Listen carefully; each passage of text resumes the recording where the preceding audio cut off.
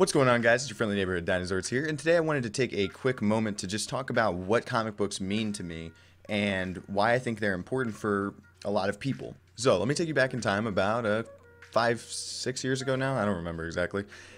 I was a little guy, little little tyke over in ninth grade, um, and I started getting into uh, videos online where people were picking up comic books. And I, this is my first experience seeing comic books, like really, and it made me want to go read comic books. And so I started looking for comic book stores. Found one, went to one, didn't like the people there. I didn't think they were. Um, super friendly. And so I went to a new comic book store. I went there and the people were more friendly, but I didn't like them as much as I liked the people that I've been going to uh, for years now. And the people that to this day have given me opportunities. So I found Flashback Comics, uh, 2012 maybe, I don't remember, and that place really gave me uh, a lot. You like, there was times when me and my friends would skip school and drive to the comic book store and they would give us a little bit of work because we were only in you know early 10th grade. We couldn't get jobs even if we wanted to yet. And they allowed us to uh, bag and board comics for them, and in exchange have a little bit of store credit. And we'd go out, we'd go there after school. Sometimes we'd skip school without them knowing, and we'd go there and do this, do the stuff. And we'd go to different comic book stores and find their stuff and bring it back to Flashback and sell it to them. And they just gave us like this really cool place that kept us away from doing shitty things, like kept us away from doing drugs, kept us away from um, just doing like a whole bunch of stupid shit that like other kids our age might have been doing at the time. And so I think comic book stores can be that sort of outlet for a lot of people, and it, it creates a, a, an environment that allows people to see these characters that are like symbols and meant to to make you think about like how to be a better person. So like for one of my favorite examples is something that the the guy at Flashback always told me was that Peter Parker, Spider-Man, even when it's dark and he's alone in his room under the covers and no one's there to know that he's doing something, he does the right thing. By himself in the dark when no one can see him, Spider Man does the right thing. Batman does not kill people no matter what, even though you could say like he's inadvertently killing people by not killing the Joker because the Joker kills so many people because he just gets out of jail over and over and over again. So these characters gave me ideals. They gave me things to strive for in a way that I didn't have before. You know what I mean? Like I didn't have my dad to come over and tell me like, "Hey, son, you know, be a good person," like this that, and the other. So these characters in a way taught me how to be like a good person. And so I think they're really good for a lot of people to to have that. And comic book stores in and of themselves are a really nice community. Everyone there is sort of like an outcast automatically because no one reads comics anymore.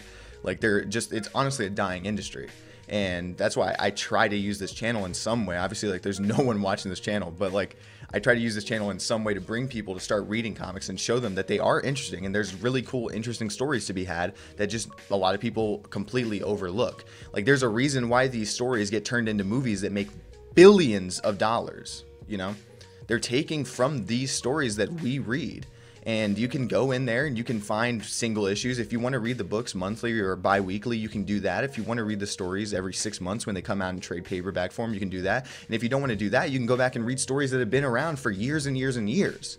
There's just tons of cool stories and, and things that you can learn from these characters that you might not be able to learn somewhere else and maybe this would be your preferred way to learn it. I don't know overall, I just think that comic book stores and, and comic books in general are a really cool place for a lot of people. And I wish more people would get into it and, and actually give it a real honest shot. Because I feel like there's just still a stigma against actually going to a comic book store. Um, and just giving it an honest shot and like actually reading something and going in there weekly. Like there's something to be said for being excited to go to the comic book store on Wednesday and getting your new comic books. Like there's something to be said for all of that. And I don't think that uh, people take advantage of that.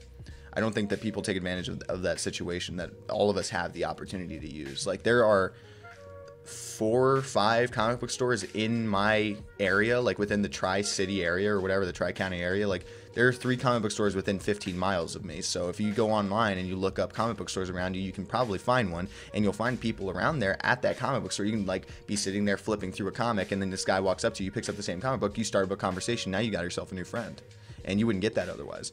You know, it's just it's a really nice place where you can cultivate new friendships and interesting things. Like uh, another thing about Flashback is like those people are the first people that hired me to do video work, and that's the honest truth. You know, like I, it's like they gave me a chance to do something when like I like they didn't have to. You know, and still to this day I make videos for them. So.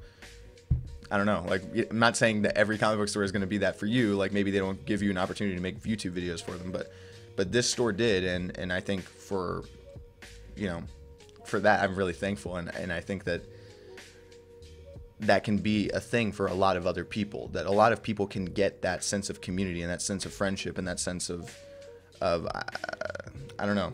They gave me a sense of responsibility, a self, a sense of self worth in some way, giving me like the outlet to make videos for them.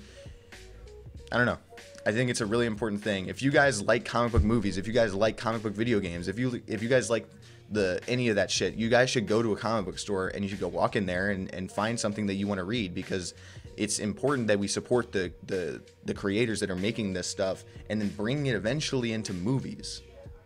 Because right now that's not that's not happening as much and, and comic book sales, especially for Marvel right now, are just fucking low. So if you guys are ever interested in comic books, fucking go to a comic book store, pick something up. And if you're not gonna go into a comic book store, at least go to Comixology and, and support comic books that way.